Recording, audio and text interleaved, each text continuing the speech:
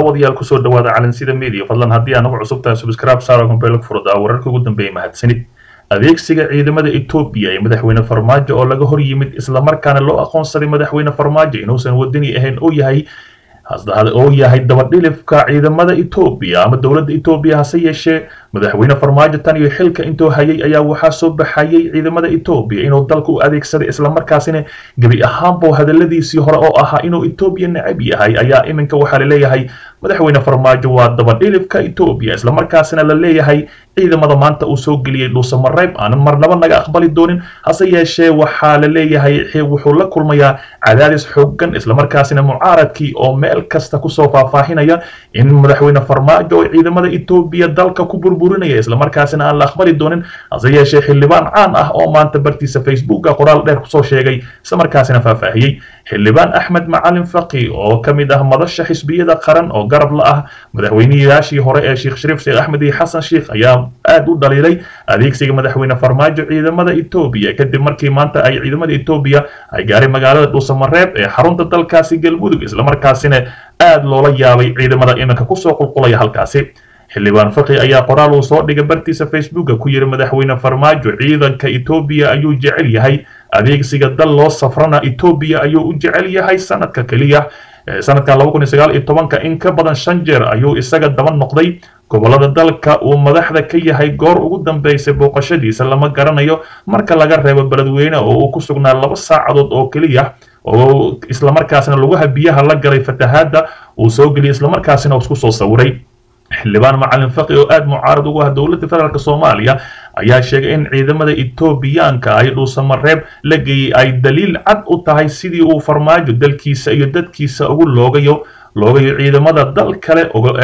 ogolaanshihiisa in ay ku qabsadaan magaalooyinka soomaaliya. Qaar ka mid a hase yeeshee qof walba oo soomaaliya ha ogaada in madaxweyne farmaajo uu dalka etoobiya u gacan gelinayo madaxweyne farmaajo ayaa horay ciidamada etoobiya ugu adeegsaday doorashadii koonfur galbeed ee baydhabo wuxuu sidoo kale isku dayay inuu adeegsado jubbaland balse waxaa ka hor yimid axmed madoobe ayuu xildhibaan faqi yidhi xildhibaan faqi ayaa sheegay inaysan jirin baahi loo qabo in ciidamada etoobiya la geeyo dhuusamareeb islamarkaasina ay caqaladayaan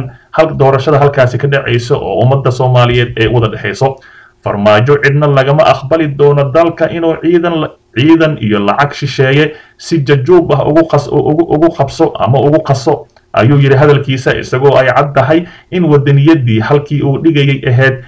ay ahayd in ay kashiftay ama kashiftay maadaama hore dhowr maro u sheegay inuu wadani yahay. Cid kasta oo wadaniyad iyo erayo wanaagsan ku taageersan tahay farmaajo ay arkaan maanta in madaxweyne farmaajo la soo baxay dhaqankii qabqablayaashii dagaalka oo kale oo mar walba dalka u soo horkici jiray ciidamo etoobiyana ayaa la yidhi. Asigoo tusaale ugu soo qaatay qabqablayaashii hore xilligii ay jireen qabqablo kasta etoobiya ayuu tagi jiray islamarkaasina ciidamo ayuu ku soo adeegsan jiray dalka soomaaliya. Madaxweyne farmaajona iminka tale sidii ayuu yahay ka hor inta aanan bisha febraayo ee sanadii laba kun toban iyo toddoba loo dooran madaxweyne farmaajo waxa uu ahaa siyaasi soomaalida ka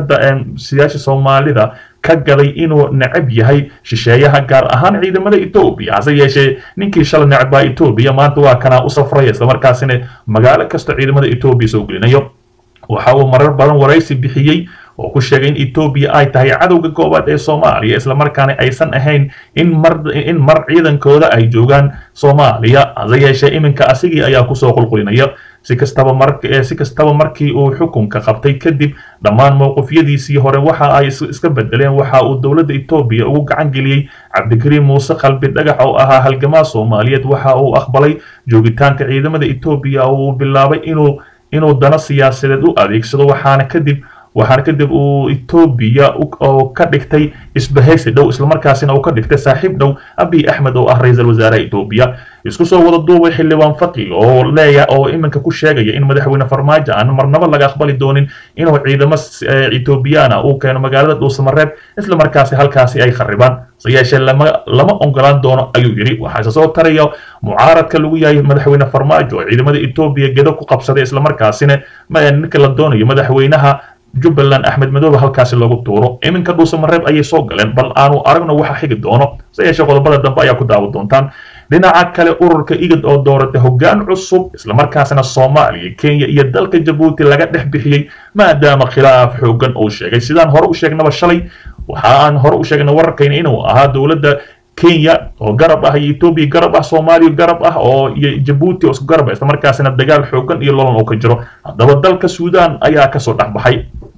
urur goboleedka igad ee ra'iisul wasaaraha cusub ee dalka suudaan cabdalla hamdoog oo u doortay inuu noqdo guddoomiyaha cusub ee urur goboleedka igad hase yeeshee halkaasi uhuru kenyatta oo u carabsanayay in halkaasi laga dulqaaday. Go'aanka lagu doortay ee ra'iisul wasaaraha cusub ee suudaan oo ku dhisnaa heshiis ay gaareen dhinacyada ayaa ka dhacay magaalada adisaba oo madaxda urur goboleedka ay ku shiran yihiin maanta waxaana loo arkaa mid xal ah xilligani looga dhex bixiyay dalalka kenya jabuuti iyo soomaaliya oo aad isugu haystay isla markaasina jabuuti iyo soomaaliya garab ahaa u diidanaa dalka kenya inay gacanta ku dhigto. Warbaahinta ayaa shalay qortay khilaaf u dhexeeya ama aan qorno annagaba jabuuti iyo kenya ay hogaamin karto in labadooda iyo soomaaliyaba